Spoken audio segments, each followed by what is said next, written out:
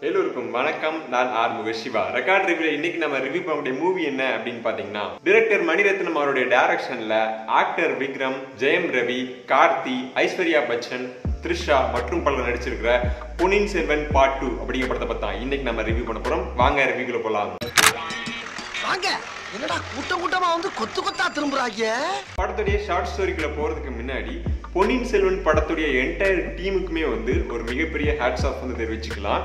ஏன்னா கிட்டத்தட்ட ஒரு ஐம்பது வருஷமாவே வந்து பார்த்தீங்கன்னா பொன்னியின் செல்வன் அப்படிங்கிற அந்த நாவலை வந்து படமா எடுக்கிறதுல நிறைய பேர் ட்ரை பண்ணி முடியாமல் இருந்துட்டு இருந்தது.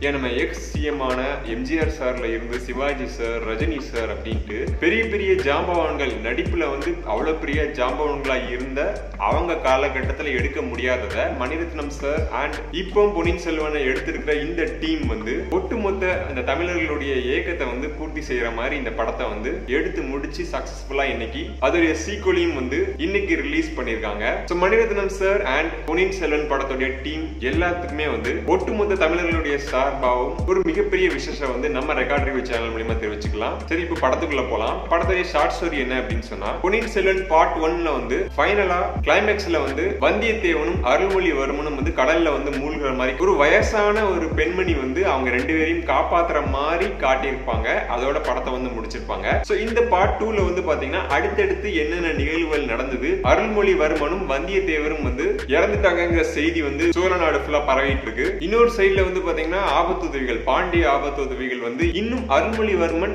அண்ட் வந்தியத்தேவன் இவங்க ரெண்டு பேருடைய பாடி வந்து கிடைக்கல. சோ அதனால இன்னும் இவங்க இறந்திருப்பாங்களா அப்படிங்கிற ஒரு மிகப்பெரிய சந்தேகத்துல வந்து சோழ நாட்டுக்குள்ள சுத்திக்கிட்டு இருக்காங்க. ஸோ அதுக்கப்புறமா பாத்தீங்கன்னா அருள்மொழிவர்மனும் சரி வந்தியத்தேவனும் சரி தப்பிச்சு காயங்களோட பாத்தீங்கன்னா உயிருக்கு போராடி வந்து கரை வந்து சேர்றாங்க. யார் இவங்களை வந்து கரை சேர்த்தது? ஆப்வியஸா பொன்னியின் செல்வன் நாவல் படிச்சிருந்தீங்கன்னா உங்களுக்கு தெரிஞ்சிருக்கும். ஊமை ராணி அப்படிங்கிற கேரக்டர் தான் வந்து இவங்க ரெண்டு பேரையும் வந்து காப்பாத்திருக்கும். இந்த ஊமை ராணி யாரு? இவங்களை எப்படி காப்பாத்தினாங்க? இவங்களுடைய பிளாஷ்பேக் என்ன அப்படிங்கறத வந்து சூப்பராகவே வந்து விஷுவலா பிரசன்ட் பண்ணியிருந்தாங்க. ஸோ இதுக்கப்புறமா அருள்மொழிவர்மன் அண்ட் வந்தியத்தேவன் இவங்க ரெண்டு பேருடைய போர்ஷனுக்கு அப்புறமா ஆதித்ய கரிகாலன் என்ன ஆனாரு? ஆதித்ய கரிகாலன் அண்ட் நந்தினி. இவங்க ரெண்டு பேருக்கும் உள்ள பிளாஷ்பேக் என்ன? பொன்னியின் செல்வன் நாவல்ல வந்து நம்ம படிச்சிருப்போம். ஆதித்ய கரிகாலன் வந்து கடம்பூர் அணியில வந்து கொல்லப்படுறாரு. அந்த கொல்லப்பட்ட இடத்துல வந்து வந்தியத்தேவன் வந்து சூழ்நிலை கைதியா வந்து மாட்டிக்கிறாரு அந்த கடம்பூர் மாளிகையில அன்னைக்கு நைட்டு பாண்டிய ஆபத்துதவிகள் நந்தினி வந்தியத்தேவன் பெரிய பழுவேற்றியர் இப்படின்ட்டு எல்லா கேரக்டர்ஸும் உள்ள இருக்கும். அப்போ உண்மையிலே ஆதித்ய கரிகாலனை கொன்னது யாரு? இப்படிங்கிற இந்த கொஸ்டின் எல்லாத்துக்குமே வந்து படம் வந்து தெளிவாவே வந்து எக்ஸ்பிளனேஷனும் விஷுவலா அவ்வளவு பெஸ்டாவும் வந்து காட்டியிருந்தது. Wait wait wait short story நீ வாட்டி கதையை வந்து பாசிட்டிவ் நெகட்டிவ்ஸ்லாம் பேசிக்கிட்டு இருக்க அப்படின்னு கேட்டீங்கன்னா கதை வந்து ஆல்ரெடி நம்ம பொன்னியின் செல்வன் நாவல் படிச்ச எல்லாருக்குமே தெரிஞ்சிருக்கும். ஸோ அதே கதை தான் ஸோ கதையில வந்து பெருசா எந்த மாறுதலும் இல்லை. இதை நான் ஷார்ட் ஸ்டோரி இன்னொரு தடவை எக்ஸ்பிளைன் பண்ணி சொல்லி உங்களை போர் அடிக்க விரும்பல. என்னென்ன பெஸ்டா இருந்துச்சு அப்படிங்கறத உங்களுக்கு நான் சொல்லிக்கிட்டு இருக்கேன். ஸோ இதெல்லாம் தான் வந்து பாத்தீங்கன்னா பெஸ்டா இருந்துச்சு. விக்ரம் சார் வந்து ஆதித்ய கரிகாலனாவே வந்து வாழ்ந்திருக்கிறாரு. பார்ட் ஒன்லேயே நம்ம அவருடைய பெர்ஃபார்மன்ஸ் வந்து பார்த்திருந்தோம். பட் பார்ட் டூல வந்து பாத்தீங்கன்னா அவரை சுத்தின கதை தான் வந்து அதிகமா இருந்துச்சு. ஏன்னா கோரே வந்து பாத்தீங்கன்னா ஆதித்ய கரிகாலன் எதுக்காக கொல்லப்பட்டாரு? யாருனால கொல்லப்பட்டாரு அப்படிங்கிறது தான். ஸோ அதுல வந்து பாத்தீங்கன்னா விக்ரம் சாருடைய பெர்ஃபார்மன்ஸ் பெஸ்டாவே இருந்துச்சுன்னு சொல்லலாம். நந்தினியா வர்ற ஐஸ்வர்யா ராய் பச்சன் அவங்களுடைய பெஸ்ட்டை வந்து கொடுத்துருக்காங்க எமோஷன் சீன்ஸ் அண்ட் ரிவெஞ்ச் இந்த ரெண்டுமே வந்து எக்ஸ்பிரஷன் மூலியமா அவங்க கன்வே பண்ண விதம் வந்து எக்ஸ்ட்ரானரியா இருந்ததுன்னு சொல்லலாம். இன்னொரு பக்கத்துல வந்து பாத்தீங்கன்னா எல்லாத்துக்கும் அடி வாங்கிட்டு இருக்கிற வந்தியத்தேவன். கார்த்தி சார் வந்து இந்த கதாபாத்திரத்துக்காகவே வந்து பிறந்தது வந்து நடிச்ச மாதிரி தான் இருந்தது. அந்த லெவலுக்கு அந்த கேரக்டருக்கு எக்யூப்டா வந்து சூட் ஆயிருக்காருன்னு சொல்லலாம். அண்ட் ஃபைனலா வர்ற அருள்மொழிவர்மன் ஜெயம் ரவி சார் பெஸ்ட்டாக வந்து சூட் ஆயிருக்காரு இனிமே வந்து பார்த்தீங்கன்னா எப்படி பாகுபலி அப்படின்னு சொன்னால் நமக்கு பிரபாஸ் சார் ஞாபகம் வராரோ அந்த மாதிரி அருள்மொழிவர்மன் அப்படின்னு அந்த நேமை நம்ம கேட்டாலே பொன்னியின் செல்வன்ல ஜெயம் ரவி சார் தான் ஞாபகம் வருவார்னு நினைக்கிறேன். அந்த லெவலுக்கு அந்த கேரக்டருக்கு ரொம்பவே வந்து சூட்டபிளாக வந்து பொருந்திருந்தாரு. அவருடைய பெர்ஃபார்மன்ஸ் அண்ட் ஆக்ஷன் சீன்ஸ் ரெண்டுலையுமே வந்து கலக்கிக்காருன்னு சொல்லலாம். Karthi sir and Jayam Ravi sir ரெண்டு பேருமே வந்து அவங்களுக்கு கொடுத்த அந்த ஸ்பேஸ் அண்ட் அந்த கேரக்டருக்கான எக்யூப்டான பெர்ஃபார்மன்ஸ் வந்து கொடுத்துருக்காங்க. மற்றபடி குந்தவை அவர் த்ரிஷா மேம் ஆகட்டும் மற்ற கேரக்டர்ஸ் சின்ன பழுவேற்றையர் பெரிய பழுவேற்றையர் வானதி மதுராந்தக தேவர் இப்படின்ட்டு எல்லா கேரக்டருமே வந்து அவங்களுக்கு கொடுத்த ரோலுக்கான ஜஸ்டிஃபைட் பெர்ஃபார்மன்ஸ் வந்து காட்டியிருக்காங்க. இது போக படத்தில் பாசிட்டிவ்னு பார்த்தீங்கன்னா பேக்ரவுண்ட் ஸ்கோர் எக்ஸ்ட்ராடனரியாக இருந்ததுங்க. ஏஆர் ரஹ்மான் சார் வந்து பார்த்தீங்கன்னா பிச்சிருக்காருன்னு சொல்லலாம்.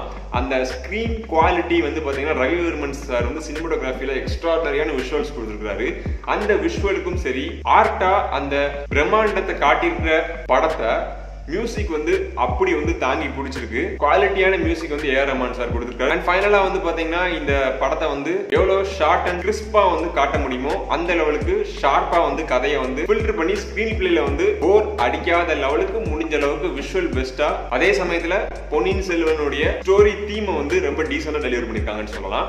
ஒட்டுமொத்த டீமுமே வந்து பெஸ்ட்டாக அதில் ஒர்க் பண்ணியிருக்காங்க சரிடா பாசிட்டிவாக சொல்லிட்டே இருக்கியா நெகட்டிவே இல்லையா அப்படின்னு கேட்டீங்கன்னா நெகட்டிவ் அப்படின்னா என்னன்னா ஒருவேளை பொன்னியின் செல்வன் நாவல் அதெல்லாம் எதுவுமே வந்து படிக்காம ஜஸ்ட் இந்த படத்தை பார்த்து நம்ம தெரிஞ்சுக்கலாம் அப்படின்னு வராங்கன்னு வைங்களேன். அந்த மாதிரி ஒரு ஆடியன்ஸா நீங்க போய் இந்த படம் பார்க்க போறீங்க அப்படின்னு சொன்னா பிரச்சனை என்னன்னு சொன்னா கேரக்டரைசேஷன் கனெக்ட் வந்து ரொம்பவே வந்து மிஸ் ஆச்சுன்னு சொல்லலாம். இப்போ வந்து பாத்தீங்கன்னா இந்த பாகுபலி மாதிரி ஒரு ஃபேண்டசி கதையை நம்ம பார்க்கும்போது அந்த கேரக்டர் கனெக்ட் வந்து பாத்தீங்கன்னா ரொம்ப வந்து ஈஸியாவே வந்து கனெக்ட் பண்ணிக்கிற முடிஞ்சுது. எமோஷன்ஸ்லாம் பாத்தீங்கன்னா அந்த சீன்ஸ் வந்து விஷுவலா அங்க பாகுபலி அப்படின்ற ஸ்கிரீன்ல ப்ரொஃபஸர் வரும்போது நமக்கு வந்து ஒரு நேச்சுரலாவே வந்து ஒரு கனெக்ட் வந்து வருது பாத்தீங்களா? எஸ்பெஷலி பாகுபலி டூலெல்லாம் வந்து பாத்தீங்கன்னா அந்த பதவி பிரமாணம் செய்யற அந்த சீன்ஸ் எல்லாம் பாத்தீங்கன்னா அவ்வளவு பெஸ்டா இருக்கும். அதாவது நேச்சுரலாவே வந்து பாத்தீங்கன்னா அந்த கேரக்டரோட அவ்வளவு கனெக்ட் வந்து நமக்கு இருந்துச்சு ஆக்சுவலா ஸோ அந்த மாதிரி கனெக்ட் வந்து இந்த பொன்னியின் செல்வன் கல்கியோடைய பொன்னியின் செல்வன் நாவல் படிக்காம இந்த படத்தவே நம்ம பார்க்க போறோம் அப்படின்னு சொன்னா அந்த படத்துல கிடைச்ச அந்த மாதிரியான கனெக்ட் வந்து இந்த படத்துல வந்து சுத்தமாவே வந்து நமக்கு இல்லை. அதுதான் ஒரு பெரிய பிரச்சனை. பட் ஒருவேளை பொன்னியின் செல்வன் நாவல்லாம் படிச்சுட்டு இந்த படம் வந்து விஷுவலா எப்படி வந்து எடுத்திருக்காங்க அப்படிங்கறத பாக்குறதுக்கான ஒரு மைண்ட் செட்ல போய் நீங்க படம் பார்க்க போறீங்கன்னு சொன்னா கண்டிப்பா இந்த படம் வந்து உங்களை எந்த வகையிலுமே வந்து ஏமாற்றாது. அந்த லெவலுக்கு குவாலிட்டியாவே வந்து ஒர்க் பண்ணிருக்காங்கன்னு சொல்லலாம். பட் நாவல் எதுவும் படிக்காம ஜஸ்ட் பொன்னியின் செல்வன் அப்படின்ட்டு ஒரு நாவல் இருக்குப்பா நான் போய் அந்த படமா இதை போய் பார்க்க போறேன் அப்படிங்கிற ஒரு மைண்ட் செட்ல பாத்தீங்கன்னு சொன்னா கனெக்ட் அப்படிங்கிறது சுத்தமாவே வரல. எந்த கேரக்டருமே வந்து நம்ம கூட வந்து பெருசா வந்து ஒரு கனெக்ட் ஆகவே முடியல. எஸ்பெஷலி அருள்மொழிவர்மன் ஆதித்ய கரிகாலனுடைய அந்த இறப்பு. ரெண்டாவது பாத்தீங்கன்னா நந்தினியோடைய அந்த பிளாஷ்பேக்ல வீரபாண்டியனா வர்ற அந்த கேரக்டருடைய இறப்பாகட்டும். எல்லாமே வந்து பாத்தீங்கன்னா ஜஸ்ட் ஒரு கதைக்கான ஒரு விஷுவல் பிளேயா எல்லாம் மூவ் ஆயிட்டு இருக்க தவிர ஒரு பிரம்மாண்டமான ஒரு படமா ஒரு ஜென்ரல் ஆடியன்ஸ் கூட கனெக்ட் பண்ற ஒரு படமா இது இருக்கான்னு கேட்டீங்கன்னா அது வந்து இந்த படத்துல இல்ல. அதுதான் ஒரு மிகப்பெரிய நெகட்டிவாகவும் இருந்துச்சு. எதனால அப்படின்னு எனக்கு தெரியல பேசிக்கா நாவல் பேஸ் பண்ண ஒரு படம்னால மேபி வரலையா? இல்ல வந்து ரைட்டிங்ல வந்து எதுவும் லேக் இருந்தனாலயா? என்னன்னு தெரியல. ஒருவேளை உங்களுக்கு அந்த மாதிரி எதுவும் நீங்க படம் பார்த்துட்டு உங்களுக்கு அந்த மாதிரி ஃபீல் வந்துச்சு அப்படின்னு சொன்னா நீங்க அதை கமெண்ட் பண்ணுங்க. பட் இருந்தாலும் இந்த படம் வந்து பாத்தீங்கன்னா ஒன் டைம் வாட்சபிள் தான். அந்த அளவுக்கு எஃபோர்ட் போட்டிருக்காங்க இந்த படத்துல. கண்டிப்பா உங்க இந்த படம் வந்து உங்களை ஏமாத்தாது. கொடுத்த ரூபாய்க்கு ஒருத்தாவே இருக்கும்னு சொல்லலாம். கண்டிப்பா இந்த வீக்கெண்ட் வந்து பாத்தீங்கன்னா உங்க ஃபேமிலியோட இந்த படத்தை வந்து பார்க்கலாம். அந்த அளவுக்கு பெஸ்ட்டாவே இந்த படம் வந்திருக்கு. படத்துல அடல்ட் அண்ட் வயலன்ஸ் சீன்ஸ் அதெல்லாம் எதுவுமே இல்ல. ஒரு பெஸ்ட் ஃபேமிலிக்கான என்டர்டைன்மெண்ட் மூவியா தான் இருக்குது இந்த படத்துக்கு ரெக்கார்ட் ரிவ்யூ கொடுக்கக்கூடிய ரேட்டிங் என்ன அப்படின்னு சொன்னா three point five out of five வந்து இந்த படத்துக்கு கொடுக்கலாம். இந்த ரேட்டிங்க்கு தகுதியான ஒரு படமா தான் இது வந்திருக்கு. இந்த படம் நீங்க பார்த்துருந்தீங்க அப்படின்னு சொன்னா இந்த படம் பற்றின உங்களோட ஒப்பீனியன் என்ன அப்படிங்கறத கமெண்ட் செக்ஷனில் மறக்காம தெரிவிச்சிருங்க. மீண்டும் வேற ஒரு ரிவ்யூ ரேட்டிங் கூட சந்திக்கிறேன். வரைக்கும் சைனிங் ஆஃப் நான் ஆர் சிவா.